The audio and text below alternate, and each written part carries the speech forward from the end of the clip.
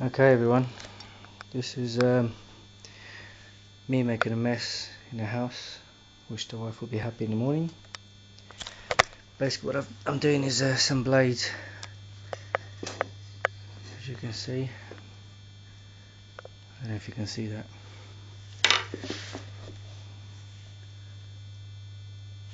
And this, this is the leading edge, this is the trailing edge and that's the the wind the wind hits this section here and makes the whole thing spin. And that's the shape of it. And now for the back of it is this. At the moment I've been doing the airfoil um, shape. As told by Mr. Hugh Piggott. I've got his book.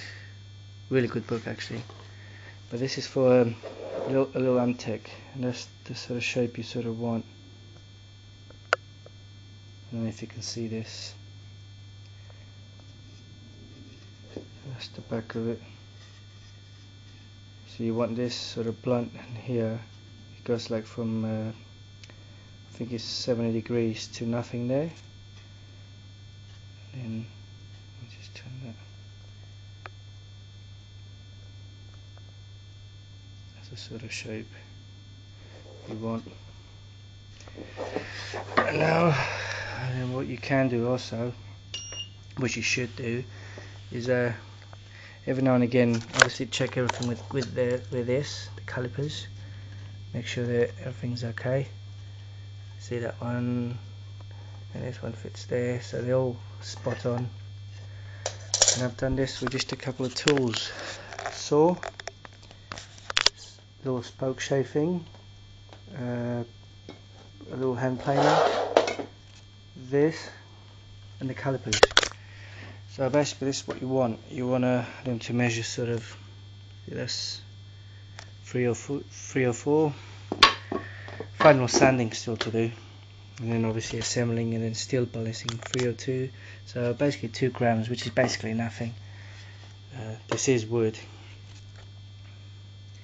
C306 so yeah just got to do some final sanding. But that's that's basically that's the, the blades there.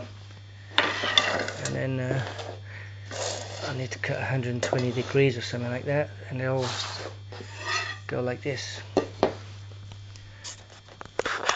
something like that let me get up Now comes in the morning she was going to be a bit upset. I just can't stand still. TV doesn't do it for me so I'll just keep on doing stuff.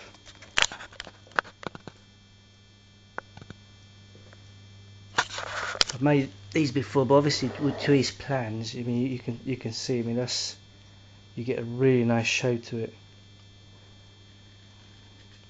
Now I just got to get a bearings and see how, how it works out you can see how how should work. I'm happy with him so far. Hopefully it'll work out.